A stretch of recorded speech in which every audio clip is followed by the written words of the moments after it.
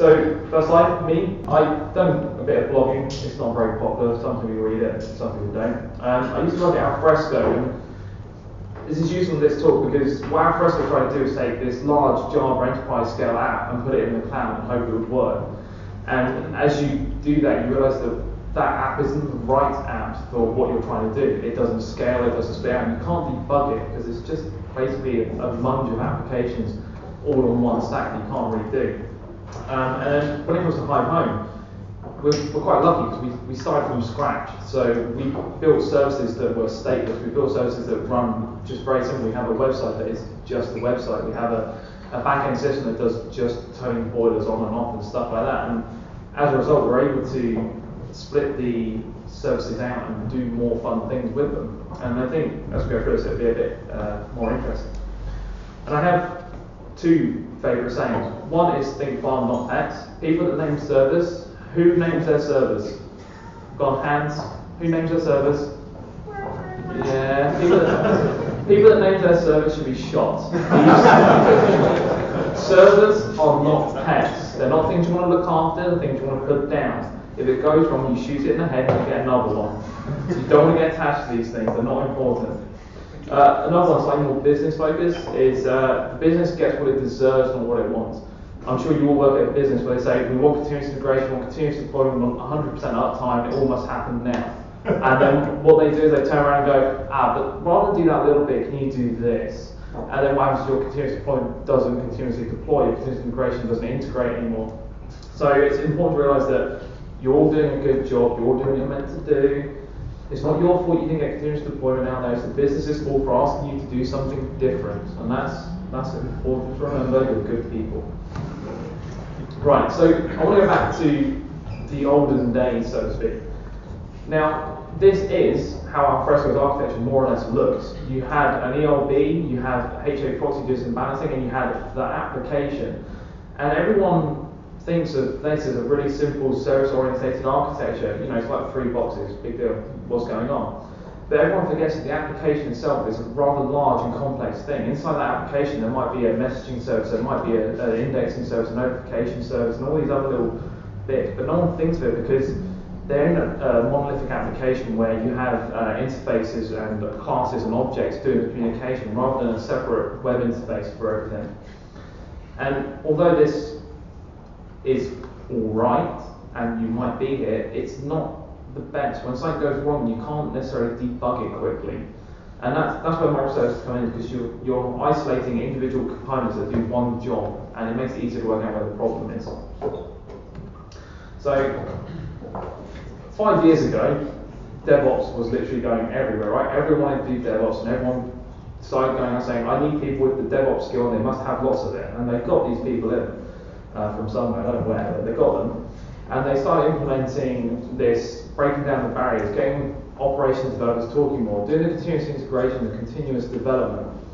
And you start releasing more often, and you're releasing good code more often, but when there's a problem with your code, you're spending possibly longer, certainly in the old architecture, debugging it, trying to work out where, where that problem's happening. And I remember very clearly at Bristol, we had an issue with searching, which took Don't know, you'd search for a certain query and it'd take 30 odd seconds. And because you had to keep going back and forward, going, well, can we prove it's this area? Can we prove it's that area? Can we do this sort of metrics or other metrics? It took a long time to get there. Now, conversely, if we have things like microservices where we had just an indexing service, we can go, the data coming out of the application is good, but data coming out of the search and the index service is bad, then we have a narrow field scope we can start looking at and debugging and making things slightly easier to go through. And then when you get to that microservices architecture, you then start feeding to DevOps properly. All right, you don't have one pipeline anymore, you might have 30 pipelines. But you're now release, releasing um, mini eggs worth of deployments rather than golden Easter eggs worth of deployments. And I think that helps with the deployment architecture because it's, it's smaller units, they're better understood, the teams that build them are there and available hopefully to debug them, rather than anyone that's done a monolithic app where you get a no, no, no, we only changed one thing, and here's 20,000 other things that we might have changed, but don't worry about that. You don't get that approach anymore with the microservices because everyone's release is important to them.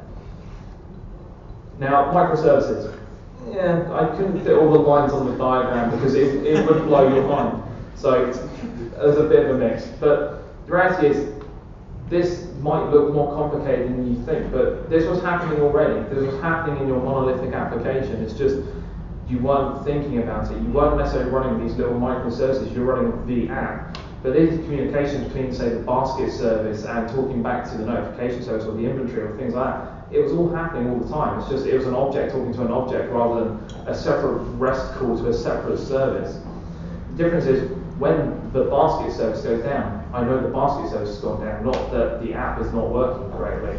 And that, that's where microservices come into their own because you're, you're narrowing the field of scope down to such a small area to start with that your debug time drops down. I mean, you imagine in this sort of um, situation, you put things in your basket, the basket checks your inventory, makes sure the inventory's got the item, you then go and purchase the item and it goes to shipping. So you go through all these separate steps. And they were just hidden before. And I think it's important to talk about certainly persistence one, which I think some people miss. Your database is just a place you write things. It's, it should have its own API in front of it as well. You would have done it in Java or Ruby or any other language if you had like a data access object of some kind. Because you shouldn't write your data straight to the disk because you need that layer of abstraction. What if your database changes? What if you go from MySQL to Redis or whatever? So that layer of abstraction is quite useful. Um, this is hopefully quite a short slide because microservices is about doing one thing well, and I'm assuming most people have used Linux. and then if you realize that Linux has always done one thing well, you, you grep a directory or you grep a file, you take the output from grep and you pipe it into awk, you do one filter there, you pipe that into sort. And that concept's been there for a while. And even in Java applications, again, the same thing. People write these uh, interfaces to listen, these packages and these objects inside the application. It's just all been bundled in. The only real difference is people have said, well, actually, rather than having it bundled in, let's split it out. Let's put a RESTful API on it. Let's make it clearly defined what comes in and what comes out so we can easily identify what's gone wrong, what, what needs to be fixed if there is something. Queuing is an interesting topic. You have to think when you're deploying these services, they're quite small and light and hopefully quite quick. So you might you might not need a queue, but happens if you have a queue to store some processes that you don't necessarily need to do in real time, but you can do in the background? What happens if you split it out? So think about going stateless and stuff. It's it's useful if your app stateful or stateless, but sometimes it's not possible. And again, when you're sort of designing these, what happens when you have 500 of these things coming up and down? How do you do the discovery? How do you know that the transaction fully completed before the node was taken away? If you take like an Amazon sort of situation where you're spinning nodes up and down continuously, you don't know if it's halfway through a connect through a transaction or so you, you have to have that built into your product to be able to deal with it. And I think some people as well concentrate a lot on the technology, and I think the culture is quite important back in the day, again, it was dev throw things over the wall, and they used to say things like, hang on, it works on my laptop, but it doesn't work on your 16 core, 600 gig of RAM server, so you guys have clearly done something wrong. and that, that's where DevOps came from, right? People were seeing these problems, people weren't talking, so they produced these wonderful little DevOps teams, and you get a nice little DevOps rainbow where you're all there, you're all developing tools and systems to help everyone out. And you're doing a nice continuous deployment. And hopefully a lot of you saw the Spotify video a few weeks ago where they actually talk about putting a single operations person into a team of people building the application as well. And that, that's something we're doing at Hive Home. We have application teams with dedicated ops engineers in there who continually build based on the tools and technology that the core DevOps team decide. So what we're turning the business into is the DevOps team produce a platform. So we have a platform for monitoring, we have a platform for deployment, we have a standard build pipeline and things that people can just pick and choose and deploy. And we find that by having people in the application teams and work a common set, we hope when we finally finish that when that person disappears, someone in the main team can still support the application because it was done using the standard tools in the standard way and the documentation is in the standard place. Um, tooling is quite interesting over the years as well. If you, if you take traditional tooling, things like uh, Nagios and Munin, someone said, hey, I want to do X, Y, Z, you log in and you make the change to that box and you do it on the box. As time's gone on, things have become more self-service. So things like GitHub, everyone signs up for their own GitHub account and then you add that person into your account when you want to use it. So the goal is to make people do their own work rather than the sysadmin slash DevOps people sitting there churning through and doing the work for them. And that's one of the reasons why um, we uh, um, Hive started to produce tooling and technology to do that because we don't actually want to be running the service it's not our expertise. Our expertise is in choosing the technology and making sure people do things in the right way. We don't know how the Hive web app works per se. We can tell you how to deploy it, but we can't debug if the website looks funky. So we try and push that into the web team and make that application to actually then debug that application because they are the people that know the application best. Um, benefits. So I think the main benefit with the microservices is with the appropriate monitoring on the inputs and the outputs and the individual service that you actually save a lot of time with um, the supportability of the platform. So when you hit these issues that are hard to trace, it becomes a lot easier because it's this area has a problem, everything else is green. The basket app has got a problem. So you save a lot of time in getting to the problem quicker, and because it's now a smaller component, the whole business isn't panicking because you can't deploy the app quickly. It's, it's like a 500 megs, or sorry, it's like 500 lines worth of code you have to deploy in a very small sort of, I don't know, Sinatra or Flask or web app. It's, it's such a small component. People don't mind if you push it out quickly without adequate testing because, hey, if it, it wasn't working before, you push it out again and it still doesn't work, you're in the same place. Your app still doesn't work. Um, hugging dinosaurs. I, I spent be honest, two hours looking for a picture of people hugging a DevOps slash technical person. It turns out that you people don't like hugs. That, that's why that's why I discovered in two hours. Um, so dinosaurs, because you're now delivering a platform to people, you're not stopping them, and you're giving services back to them so they can self-serve their own IT. In essence, people will like you. The business will like you for what you're doing because you're not the roadblock anymore. You're just the person who provides the tools for other people to go off and do great things. Um, the happy ball one, I, I, just like the picture, to be honest. It's you, you will become the team and the company that is happy and smiley because all of a sudden you're not responsible for running a lot of this stuff. You're just responsible for the tools that glue it together. When the website's not working, you go, that's great. What does the website team say? And just, that problem then becomes theirs until such point they say, hey, the platform that deploys this, the systems, the architecture that actually puts it out there does not work. And then that's when you start getting involved because that's the skill set you get over time with DevOps. You've, you've deployed it, you've done it, you've run it, you've managed it.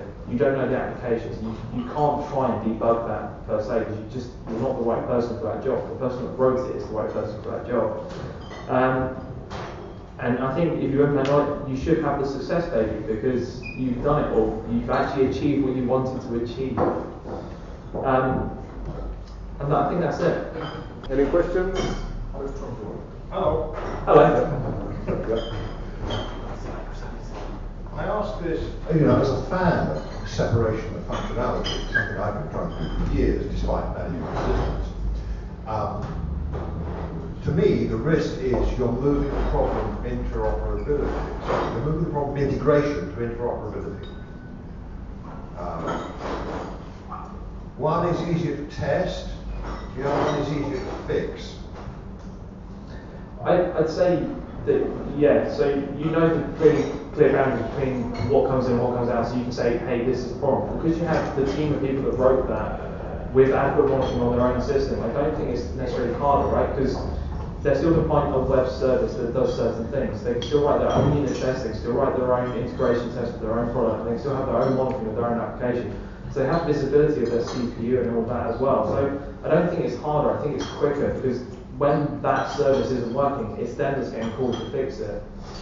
Does that sort of answer your question? My fear is ad hoc changes to the APIs. Right, so agreed. You have different teams doing different services, containers, VMs, whatever you want to call it. The temptation is to tweak the API to solve their local problems.